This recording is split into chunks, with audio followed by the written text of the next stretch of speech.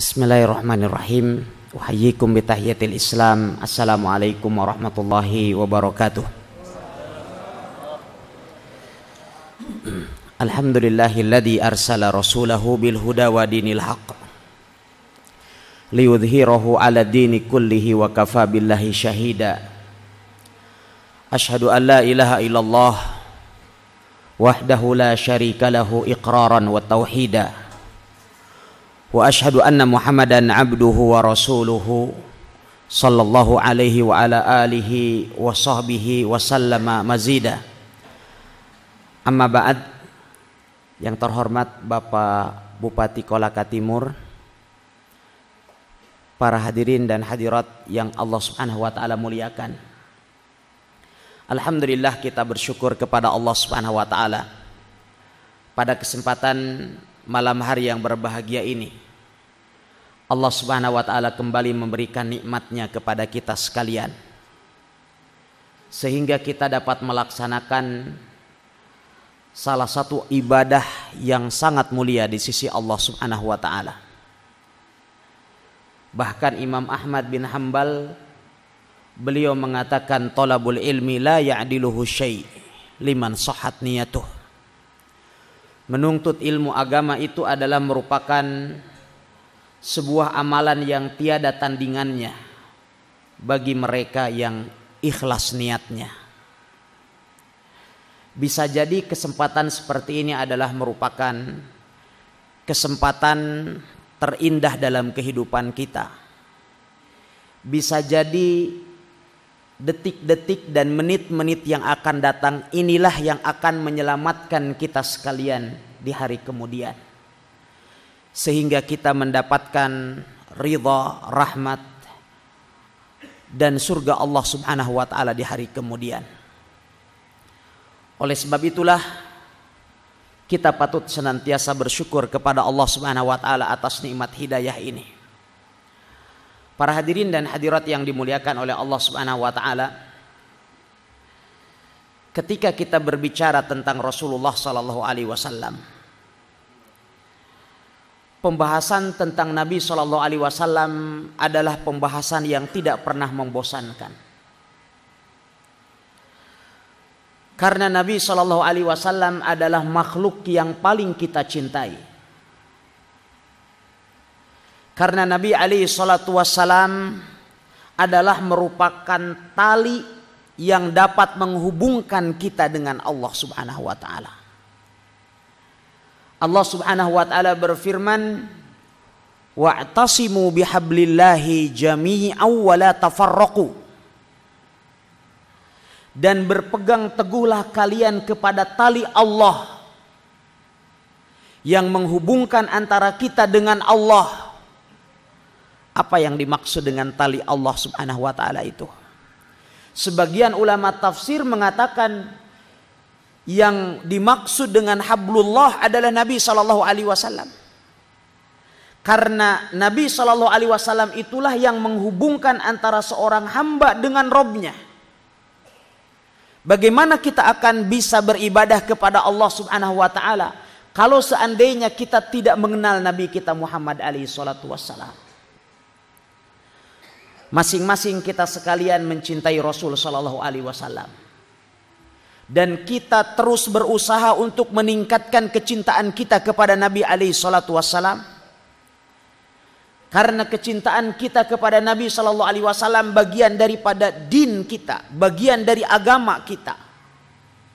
Bahkan keimanan seseorang tidak diterima di sisi Allah kecuali manakala dia mencintai Nabi sallallahu alaihi wasallam.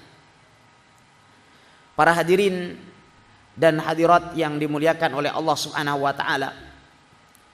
Ketika kita berbicara tentang Nabi alaihi salatu wasalam dan mengapa kita harus mencintai beliau alaihi salatu wasalam. Sesungguhnya banyak faktor yang menjadikan kita sekalian mencintai Nabi Shallallahu Alaihi Wasallam. Apabila kita melihat dari perangai beliau, maka beliau adalah orang yang paling baik akhlak dan budi pekertinya. apabila dilihat dari kesucian beliau, beliau adalah manusia yang paling suci. Apabila dilihat dari kedermawanan beliau, beliau adalah manusia yang paling dermawan. Apabila dilihat dari keadilan beliau, beliau adalah manusia yang paling adil. Apabila dilihat dari keberanian beliau, beliau adalah manusia yang paling berani Apabila kita lihat dari sudut pandang mana pun, dari kezuhudannya, ketawaduannya, maka akan kita dapatkan beliau alaihi salatu wassalam adalah menjadi sosok manusia yang paling sempurna. Oleh sebab itu Allah Subhanahu wa taala menjadikan beliau alaihi salatu wassalam sebagai kudwah dan suri toladan kita. Allah Subhanahu wa taala berfirman, Laqad kana lakum fi Rasulillahi uswatun hasanah. Sungguh telah ada pada kepribadian Nabi Shallallahu alaihi wasallam bagi kalian suri toladan yang baik. Bahkan kehebatan kepribadian Nabi Ali salatu wasallam bukan hanya diakui oleh kaum muslimin. Siapa pun yang mengkaji biografi kehidupan beliau Ali salatu wasallam, baik muslim atau non muslim, semuanya akan mengambil kesimpulan bahwa Nabi Ali Shallallahu Wasallam adalah manusia yang paling agung sepanjang sejarah. Para hadirin dan hadirat yang dimuliakan oleh Allah Subhanahu Wa Taala, kita lihat bagaimana akhlak dan budi pekerti Nabi Ali Shallallahu Wasallam. Nabi Shallallahu Alaihi Wasallam adalah manusia yang paling luhur akhlak dan budi pekertinya, manusia yang paling mulia, manusia yang paling bertakwa kepada Allah Azza wa Jalla Bahkan akhlak Nabi Shallallahu Alaihi Wasallam ini mendapatkan pengakuan dari Allah Subhanahu Wa Taala di dalam firman-Nya, wa inna kala ala khuluqin azim. Dan sesungguhnya engkau wahai Muhammad ada di atas budi pekerti yang sangat agung. Cukuplah ini adalah merupakan sebuah kemuliaan bagi Nabi Shallallahu Alaihi Wasallam. Allah Subhanahu Wa Taala itu maha azim Allah tidak mensifati sesuatu dengan sifat agung kecuali sesuatu itu memang benar-benar sangat agung. Ummul Mukminin Safiyah binti Huyai radhiyallahu taala anha Beliau mengatakan ma raaitu ahsana khuluqan min Rasulillah sallallahu alaihi wasallam. Saya tidak pernah melihat sosok manusia yang akhlaknya lebih baik daripada Nabi Shallallahu Alaihi Wasallam. Istri Rasulullah Shallallahu Alaihi Wasallam yang lain, Ummul Mukminin Aisyah radhiyallahu taala anha, beliau mengatakan kana khuluquhul Quran. Akhlak Nabi Shallallahu Alaihi Wasallam itu adalah Al Quran. Luar biasa. Dan pernyataan Ummul Mukminin Aisyah radhiyallahu taala ini disepakati oleh seluruh istri-istri Nabi Shallallahu Alaihi Wasallam. Oleh sebab itu, para ulama menyebutkan hikmah di balik poligaminya Nabi Shallallahu Alaihi Wasallam. Di antara hikmah di balik poligaminya Nabi Shallallahu Alaihi Wasallam ini adalah untuk semakin menampakkan bagaimana luhurnya budi pekerti Nabi Shallallahu Alaihi Wasallam semua istri-istri Nabi apabila ditanya bagaimana akhlak Nabi Shallallahu Alaihi Wasallam, semuanya akan bersepakat mereka mengatakan karena hulukuhul Quran. Akhlak beliau Ali Shallallahu Wasallam adalah Al Quran. Berbeda kalau kita yang berpoligami, ya mungkin saja kita memiliki beberapa orang istri. Tapi sering kali kita dapatkan orang yang berpoligami Jarang kita dapatkan istri-istri mereka bersepakat tentang suaminya. Istri pertama mungkin dia memuji, tapi istri kedua, istri ketiga dan istri keempat belum tentu memujinya. Ah, katanya dia tidak adil gitu ya. Wah, dia berat sebelah. Tapi seluruh istri-istri Nabi Shallallahu Alaihi Wasallam manakala ditanya, kaifakana hulukun Nabi Shallallahu Alaihi Wasallam pasti semuanya mengatakan karena hulukuhul Quran. Akhlak Nabi Shallallahu Alaihi Wasallam adalah Al Quran dan ini adalah merupakan sebuah kalimat yang sangat agung dari Ummul Mukminin Aisyah radhiyallahu taala yang menggambarkan kepada kita bagaimana akhlak Nabi Shallallahu alaihi wasallam yaitu apa? mengikuti Al-Qur'an. Beliau alaihi salatu wasallam adalah manusia yang istiqomah.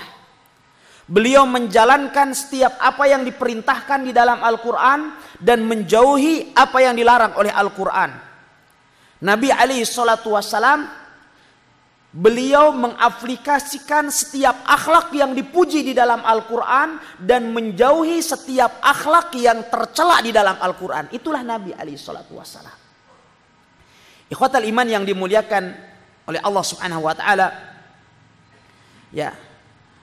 Oleh sebab itu Nabi sallallahu alaihi wasallam ya, beliau alaihi salatu wassalam akhlaknya sangat luhur akhlaknya sangat mulia. Semua orang yang pernah hidup bersama dengan beliau memberikan kesaksian yang sama, baik kawan atau lawan. Baik keluarga beliau, sahabat-sahabat beliau, tetangga-tetangga beliau, bahkan orang-orang Yahudi sekalipun yang sangat membenci agama Islam, mereka semua sepakat bahwa manusia yang paling agung adalah Nabi Shallallahu Alaihi Wasallam. Rasulullah Shallallahu Alaihi Wasallam bagaimana akhlaknya terhadap keluarganya. Beliau kita dapatkan adalah manusia yang paling baik terhadap keluarganya. Beliau senantiasa menjaga tutur kata yang baik kepada keluarganya, senantiasa memuliakan dan menghormati mereka. Nabi Shallallahu Alaihi Wasallam beliau bersabda, khairukum khairukum li ahli Manusia yang paling baik di antara kalian adalah manusia yang paling baik kepada keluarganya. Karena seringnya banyaknya orang itu kalau sama orang lain dia baik, tapi sama keluarganya belum tentu. Sama orang lain dia supel, sama orang lain dia dermawan, tetapi giliran sama keluarga maseke dia ya pelit, kikir. Giliran sama orang lain, masya Allah tutur katanya baik, tetapi begitu pulang ke rumah bertemu dengan istrinya, sifat manisnya itu tidak lagi menghiasi bibirnya. Oleh sebab itu Nabi Shallallahu Alaihi Wasallam menjadikan akhlak terhadap keluarga menjadi barometer baik dan buruknya akhlak seseorang. Ya, kita lihat saja gaya orang nelpon gitu ya. Begitu nerima telepon dari orang lain, oh, masya Allah berseri-seri dia wajahnya. Begitu yang terima istrinya, belum lagi bicara bilang kenapa sih nelpon terus, gitu ya. Dia kesel kalau ya kalau nerima telepon dari istrinya, ya. Tapi kalau dari teman, ya sejawatnya atau teman kantornya, baik, tapi giliran sama istrinya tidak. Ya. Tapi Nabi Shallallahu Alaihi Wasallam justru keindahan budi pekerti Nabi Shallallahu Alaihi Wasallam itu justru tampak sangat lebih jelas bagaimana Rasulullah SAW menyikapi istri-istri beliau. Rasulullah SAW beliau sering kali bercandaria, bercanda tawa dengan istri beliau alaihi salatu wasalam. Beliau memanggil istrinya dengan panggilan kesayangannya. Ya. Rasulullah SAW memanggil istrinya Aisyah radhiyallahu taala dengan panggilan yang menyenangkannya. Beliau terkadang memanggilnya ya Humaira. Wahai wanita yang pipinya kemerah-merahan wahai cantik gitu. Cantiku. Nah, gitu. Ya. Gilirannya sebagian kaum muslimin manggil istrinya mbok. Ya padahal masih muda. Ya masih muda tapi sudah dipanggil mbok. Di situ. Ya. Ya. Tapi Nabi SAW memanggil panggilan yang sangat luar biasa. Beliau terkadang memanggilnya ya Humaira Terkadang beliau memanggilnya ya Aish. Aish singkatan dari atau minutip dari Aisyah. Ya, beliau juga terkadang memanggil istrinya dengan menisbatkan kepada orang tuanya yang sangat agung yaitu Abu Bakar As-Siddiq ya ya benatas Siddiq katanya wahai putri As-Siddiq Para hadirin yang dimuliakan Allah Subhanahu wa taala, ini semua dilakukan oleh Nabi alaihi salatu wasallam adalah untuk menampakkan bagaimana perangai dan akhlak beliau kepada keluarganya. Nabi Shallallahu alaihi wasallam juga membantu pekerjaan-pekerjaan rumah yang layaknya dilakukan oleh seorang istri. Ya. Rasulullah Shallallahu alaihi wasallam disebutkan oleh Ummul Mukminin Aisyah radhiyallahu taala kana fi mihnati akhir ahlihi. Nabi Shallallahu alaihi wasallam itu mengerjakan pekerjaan-pekerjaan rumah istrinya. Turut menyapu, turut mencuci pakaian, turut memasak. Kan asik tuh. Kalau suami istri ya minimal satu pekan satu kali hari Ahad begitu. Walaupun masak Indomie bersama gitu ya.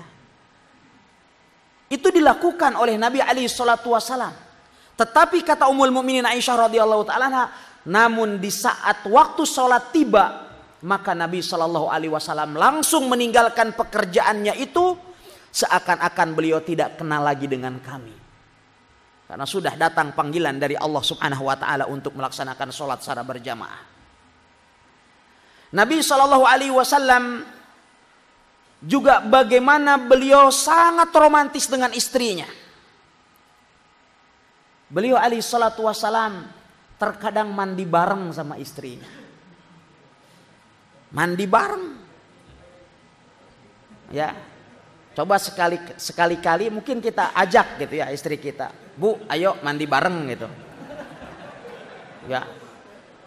Ibunya bilang katanya, "Wah, sudah tua." Padahal Nabi Shallallahu alaihi wasallam, Nabi alaihi salatu wasallam beliau Usianya berapa saat itu? Nabi Shallallahu Alaihi Wasallam ketika beliau diangkat menjadi nabi saja usianya kan sudah 40 tahun juga.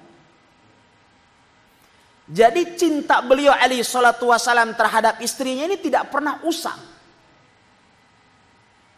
Sehingga Ummul Mukminin Aisyah radhiyallahu taala anha beliau menyebut mengkisahkan ya bagaimana beliau berebut berebut air dengan Nabi Shallallahu alaihi wasallam mandi dalam satu bejana. Ya, Rasulullah mengatakan da'ili. Katanya ini untuk saya, ini milik saya ini. Aisyah mengatakan da'li, biarkan itu milik saya. Ya.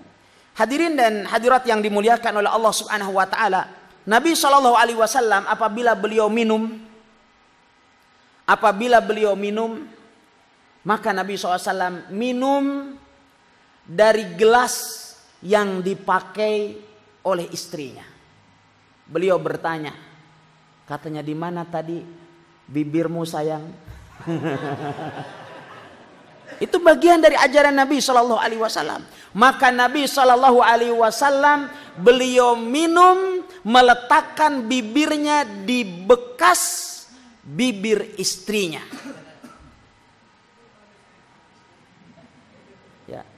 Apabila Nabi Shallallahu Alaihi Wasallam juga makan daging dan dagingnya itu ada tulangnya, maka Nabi Shallallahu Alaihi Wasallam juga makan bersama bersama dengan istrinya. Lalu kemudian beliau mengambil tulang itu dan kemudian Rasulullah SAW mengikuti bekas bibir dan gigitan istrinya tercinta radhiyallahu taala anhum. Inilah Islam yang diajarkan oleh Nabi Shallallahu Alaihi Wasallam. Bagaimana kita bermuamalah? Bagaimana kita bermuamalah dengan dengan istri kita? Ya jadi bawaannya nggak formal. Ya Umar bin Khattab radhiyallahu taala anhu yang kita kenal bagaimana ke keharismatikan beliau tetapi apabila beliau sudah berhadapan dengan istrinya istrinya mengatakan Umar bin Khattab itu adalah bagaikan seorang bayi yang dewasa. Manja beliau alaihi salatu wasalam ya. Dan itu pun kemudian menurun sama putri beliau. Fatimah radhiyallahu taala bersama dengan Ali bin Abi Thalib radhiyallahu taala Suatu ketika Fatimah radhiyallahu taala bersiwak, menggosok gigi menggunakan kayu arok. Ya, biasa kalau di Mekah di Madinah ya ada namanya siwak, pakai kayu arok namanya. Membersihkan gigi, apa namanya giginya. Dilihat oleh Ali bin Abi Thalib, diambilnya batang kayu arok tersebut lalu kemudian Ali bin Abi Thalib beliau memegangnya di atas wajah, apa namanya memegangnya di hadapan wajahnya. Lalu kemudian beliau mengatakan kepada kayu itu lau kunta min ahli qitali laqataltuk. Andaikan engkau itu adalah manusia yang bisa berperang maka akan aku bunuh kamu. Kenapa? Karena masuk ke mulut istrinya. Ya. Ya Sebagian kita mungkin tidak terbiasa dengan gaya hidup romantis seperti itu bersama dengan keluarganya. Ya konon Ali bin Abi Thalib mengatakan kepada istrinya, "Aro'aital qamar?" Ya, apakah kamu melihat apakah Anda melihat bulan purnama itu? Istrinya mengatakan, "Na'am." Iya, tentu saja saya melihatnya. Kemudian ia mengatakan anti ajmalu minal qamar. Engkau lebih cantik daripada bulan purnama itu. Ya. Giliran kita bilang begitu sama istri kita, "Bu, lihat bulan itu enggak?" Istrinya langsung menjawab, "Emang lu anggap gua buta apa?" ya, Ikhwatal iman yang dimuliakan oleh Allah Subhanahu wa taala. Ya. Nabi Ali salatu wasalam sering kali beliau tidur di atas pangkuan istrinya. Membaca Al-Qur'an di atas pangkuan istrinya. Nabi Shallallahu Alaihi Wasallam juga dijelaskan di dalam beberapa riwayat bahwa beliau Ali Shallallahu Wasallam tatkala dalam sebuah perjalanan Nabi Shallallahu Alaihi Wasallam membiarkan istrinya Safiyah duduk di atas paha beliau alaihi salatu wasalam. Sedangkan beliau naik unta. Nabi Ali Shallallahu Wasallam di saat istrinya dalam keadaan haid, beliau memerintahkan kepada istrinya untuk mengencangkan sarungnya. Lalu kemudian beliau Ali Shallallahu Wasallam bercumbu dengan istrinya, sedangkan istrinya dalam keadaan haid. Ini adalah Islam. Nabi Shallallahu Alaihi Wasallam pernah mengajak Ummul Mukminin Aisyah radhiyallahu taala berlomba lari, ngajak berlomba lari. Dalam sebuah perjalanan Rasulullah SAW bersama dengan rombongan beliau mengatakan kepada rombongan kalian duluan silahkan saya nanti di bagian belakang pasukan bersama dengan Aisyah radhiyallahu taala Tiba-tiba apa yang dilakukan oleh Nabi Shallallahu Alaihi Wasallam? Nabi Shallallahu Alaihi Wasallam ternyata ngajak Ummul Mukminin Aisyah radhiyallahu taala ngajak lari. Di saat Aisyah radhiyallahu taala masih muda, masih ramping tubuhnya, ya maka beliau mengalahkan Nabi Shallallahu Alaihi Wasallam. Senang istrinya mengalahkan suami. Sampai setelah bertahun-tahun, tiba-tiba Rasulullah SAW dalam sebuah perjalanan juga mengatakan kepada rombongan kalian silahkan berangkat terlebih dahulu biar saya di belakangan. Tiba-tiba Rasulullah SAW kembali mengajak istrinya untuk berlomba lari dengan Aisyah. Saat itu Ummul Mukminin Aisyah radhiyallahu taala anha beliau sudah mulai gemuk. Akhirnya dikalahkan oleh Nabi Shallallahu alaihi wasallam. Rasulullah SAW kemudian beliau tersenyum dan mengatakan hadihi bitilk. Katanya ini nih balasan yang dulu. Dulu kau menang, sekarang saya yang menang. Ya sekarang berarti draw. Ya. Para hadirin dan hadirat yang dimuliakan oleh Allah Subhanahu wa taala. Ya. Nabi Shallallahu alaihi wasallam juga adalah sosok manusia yang sangat adil. Bukan hanya dikenal sebagai manusia yang memiliki akhlak yang terpuji, tetapi juga keadilan beliau alaihi salatu wasalam sangat luar biasa. Nabi Shallallahu Alaihi Wasallam menegakkan syariat Allah, menegakkan hukum Allah Subhanahu Wa Taala dengan tanpa beliau membedakan antara rakyat biasa dengan karib kerabat beliau alaihi salatu wassalam. Ya. Beliau tidak membedakan hukum yang beliau terapkan apakah beliau terapkan kepada hamba sahaya atau kepada seorang bangsawan. Hadirin yang dimuliakan Allah Subhanahu wa taala, sampai kita lihat bagaimana keadilan Rasul sallallahu alaihi wasallam dalam kehidupan rumah tangga beliau. Di dalam sebuah hadis yang diriwayatkan oleh Imam Nasai dan disahihkan oleh Syekh Albani. Suatu ketika Nabi Shallallahu Alaihi Wasallam sedang mendapatkan tamu, mendapatkan tamu beberapa orang sahabat di rumahnya. Saat itu beliau sedang berada di rumah Ummul Mukminin Aisyah radhiyallahu taala anha. Tiba-tiba kemudian datang kiriman makanan dari istri Rasulullah Sallallahu Alaihi Wasallam yang lain, yaitu Ummu Salamah. Begitu makanan itu datang ke hadapan Rasulullah Sallallahu Alaihi Wasallam dan biasa kecemburuan itu adalah merupakan sifat dan fitrah wanita.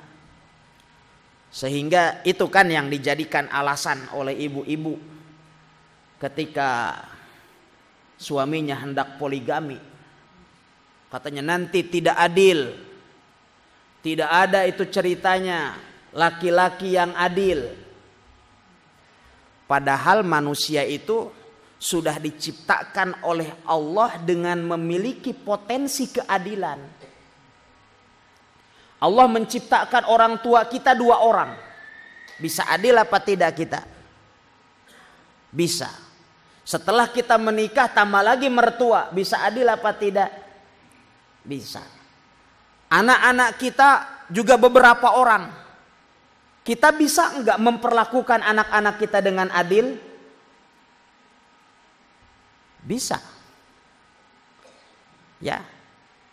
Oleh sebab itu ada seseorang yang mau berpoligami. Dia bertanya sama istrinya. Ya, Mi, mana yang paling anda cintai, yang paling engkau cintai, anak pertama, kedua atau ketiga. Katanya, ah semua juga sama. Toh dia adalah anak-anak kita. Jadi sama semuanya. Katanya sama. Kalau begitu itu sudah jawabannya. Artinya kita juga bisa adil. Kita lihat Nabi Shallallahu Alaihi Wasallam bagaimana beliau menyikapi istri-istrinya. Subhanallah, Ummul Mukminin Aisyah radhiyallahu taala anha beliau cemburu. Akhirnya makanan yang mau dihidangkan kepada tamu-tamunya ini kemudian ditumpahkan oleh Ummul Mukminin Aisyah radhiyallahu taala sehingga mengakibatkan piringnya pecah. Kalau kita gimana tuh? Istri membuat kesalahan seperti itu di depan tamu. Makanannya tumpah, piringnya pecah. Tapi kemudian Rasulullah Shallallahu Alaihi Wasallam karena budi pekertinya yang sangat luhur, beliau alaihi salatu wasallam hanya tersenyum. Di hadapan para sahabatnya, beliau tidak merasa malu sedikit pun juga. Beliau alaihi salatu wasallam hanya mengatakan garat ummukum, garat ummukum, garat ummukum. Beliau menyikapinya dengan rileks saja. Ibu kalian sedang cemburu Ibu kalian sedang cemburu, ibu kalian sedang cemburu. Dikumpulkannya makanan yang tumpah tadi oleh Nabi Shallallahu Alaihi Wasallam, dimasukkannya ke dalam piring yang baru milik Aisyah radhiyallahu taala anha. Namun tetap yang salah harus diberikan sanksi. Apa sanksinya? Aisyah radhiyallahu taala anha harus mengganti piring yang pecah milik Ummu Salamah. Jadi piring Ummu Salamah yang pecah diberikan kepada Aisyah radhiyallahu taala anha. dan piring Ummu Salamah diberikan kepada Ummul Mukminin Aisyah radhiyallahu taala anha. Inilah keadilan Nabi Shallallahu alaihi wasallam. Oleh sebab itu Nabi Shallallahu alaihi wasallam dalam kisah ada seorang wanita dari keturunan bangsawan, seorang wanita dari Mahzumiyah, dari Bani Mahzum mencuri saat itu kemudian beberapa orang dari Bani Mahzum datang kepada kepada Usamah bin Zaid agar Nabi Shallallahu Alaihi Wasallam tidak menjatuhkan hukuman had kepada wanita tersebut. Nabi Shallallahu Alaihi Wasallam kemudian menolak rekomendasi tersebut dengan begitu tegas. Lalu kemudian Nabi Shallallahu Alaihi Wasallam beliau bersabda, "Walladhi nafsu nafsu Muhammadin biyadih." Demi yang jiwa Muhammad ada di tangannya. Lau kanat Fatimatu binti Muhammad sarakat laqata'tu yadaha Demi Allah kata Rasulullah, andaikan Fatimah binti Muhammad, Fatimah putri Muhammad yang mencuri, aku tetap akan memotong tangannya. Inilah Nabi kita Muhammad alaihi salatu wassalam. Akhlak Nabi sallallahu alaihi wasallam terhadap keluarganya. Keadilan Rasul sallallahu alaihi wasallam juga tampak di tengah-tengah mereka. Akhlak Nabi sallallahu alaihi wasallam kepada anak-anak Disebutkan oleh Anas ibn Malik radhiyallahu taala anhu, beliau mengatakan kana sallallahu alaihi wasallam yamurru bisibyan fayusallimu alaihim. Nabi sallallahu alaihi wasallam apabila melewati anak-anak maka Nabi sallallahu alaihi wasallam beliau mengucapkan salam kepada mereka. Nabi alaihi salatu wasallam sangat mencintai anak-anak. Di pertemuan yang lalu di Mowewe kita sudah sebutkan bagaimana Nabi Shallallahu Alaihi Wasallam kasih sayang beliau terhadap anak-anak, mencium anak-anak. Sehingga Al Aqra ibn Yabis saat itu beliau mengatakan ketika melihat Nabi Shallallahu Alaihi Wasallam mencium putra beliau atau cucu beliau, beliau mengatakan wahai Rasulullah sesungguhnya aku memiliki sepuluh orang anak dan tidak ada satupun yang pernah aku cium. Apa yang dikatakan oleh Nabi Shallallahu Alaihi Wasallam? Man la yarham la yurham. Orang yang tidak suka memberikan kasih sayang maka dia tidak akan disayangi oleh Allah Subhanahu wa taala. Para hadirin dan hadirat yang dimuliakan oleh Allah Subhanahu wa taala. Nabi Shallallahu alaihi wasallam suatu ketika beliau sedang melaksanakan sholat sholat subuh Biasanya sholat subuh Nabi Shallallahu Alaihi Wasallam itu beliau membaca bacaan yang sangat panjang. Saat itu Nabi Shallallahu Alaihi Wasallam mendengarkan ada suara tangisan anak kecil. Maka Nabi Shallallahu Alaihi Wasallam kemudian membaca surat terpendek yang ada di dalam Al-Quran. Surat Al-Kautsar dengan surat Al-Asr. Karena cinta beliau, kasih sayang beliau terhadap anak kecil. Nabi Shallallahu Alaihi Wasallam terkadang beliau sholat dalam keadaan menggendong putra beliau atau cucu Nabi Shallallahu Alaihi Wasallam Hasan dan Hussein. Pernah juga Nabi Shallallahu Alaihi Wasallam sedang sholat, tiba-tiba kemudian datang Umaymah. Umaymah ini adalah cucu dari Nabi Shallallahu Alaihi Wasallam. Digendongnya oleh Nabi Shallallahu Alaihi Wasallam. Hadirin dan hadirat yang dimuliakan oleh Allah Subhanahu Wa Taala. Anas bin Malik radhiyallahu taala an. Beliau mengatakan khadimtu Nabiya sallallahu alaihi wasallam asyra sinin. Sungguh aku telah menjadi pelayan Nabi sallallahu alaihi wasallam selama 10 tahun. Wallahi ma qala li uffin qat. Demi Allah beliau tidak pernah mengatakan kepadaku uff walau hanya satu kali. Uff ini adalah kata-kata tadojur sebagai bentuk ungkapan kekecewaan terhadap seseorang. Wala qala li syai'in fa'altu kada wa halla. Dan tidak pernah pula Nabi Shallallahu alaihi wasallam mengatakan kepadaku sesuatu yang tidak pernah aku lakukan, beliau tidak pernah mengatakan mengapa tidak kamu lakukan. Dan tidak pula Rasulullah SAW pernah melakukan terhadap sebuah perbuatan yang telah aku lakukan, beliau mengatakan mengapa engkau lakukan.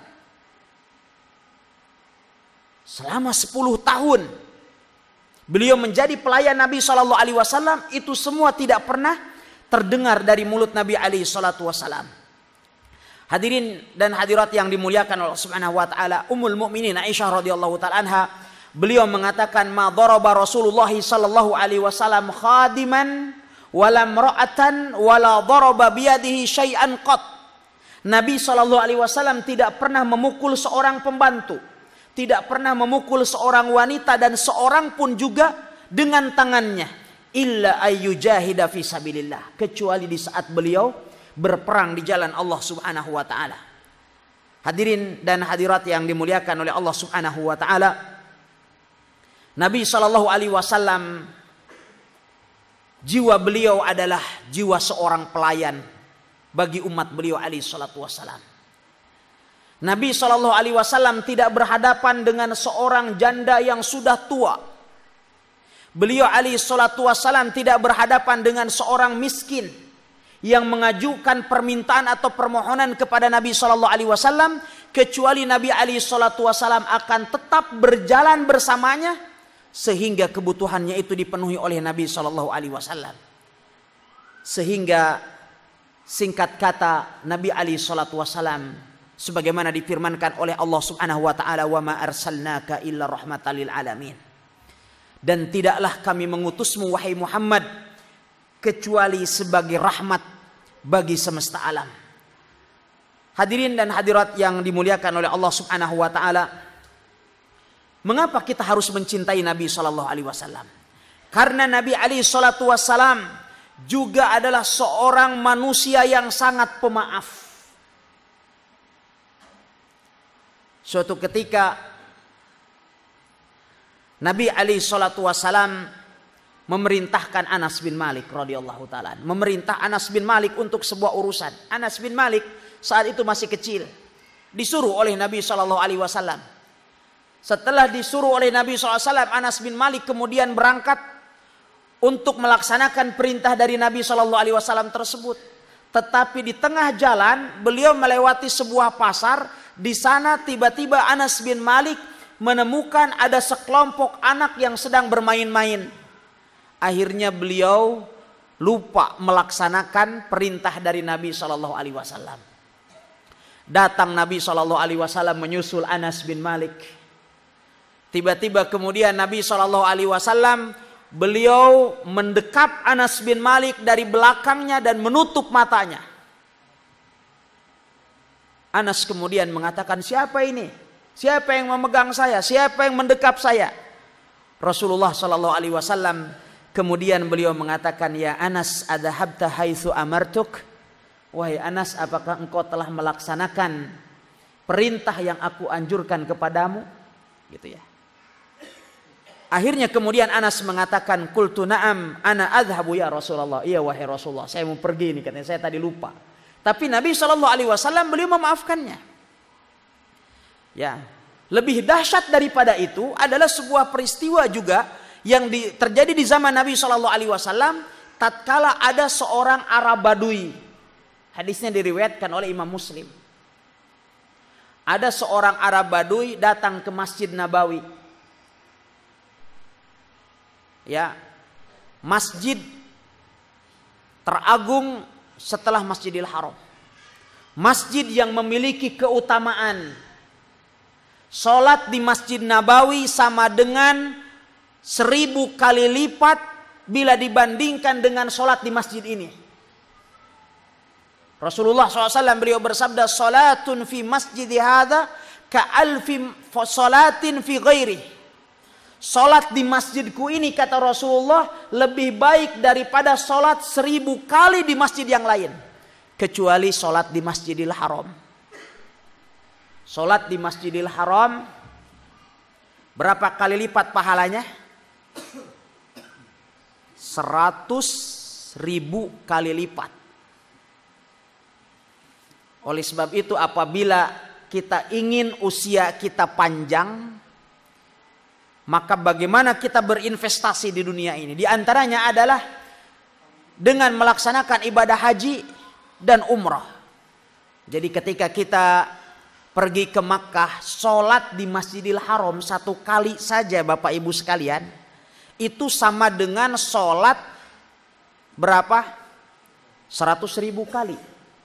Berarti kalau kita rata-ratakan 100 ribu dibagi 5 dibagi 365 maka sholat satu waktu di Masjidil Haram itu sama dengan kita sholat 55 tahun setengah. Ya, jadi sholat di Masjidil Haram satu kali, misalnya sholat isya di Masjidil Haram, itu sama dengan kita melaksanakan sholat wajib di Kolaka Timur ini selama 55 tahun setengah. Itu investasi yang sesungguhnya. Ya, jadi kalau ada orang mau berangkat ibadah haji, sering orang mengatakan, wah mahal itu. Itu saya katakan murah sekali. Berapapun yang kita bayar itu murah. Murah. Karena itu adalah investasi akhirat kita. Sholat satu kali di Masjidil Haram. Bagaimana kalau kita berhari-hari di sana?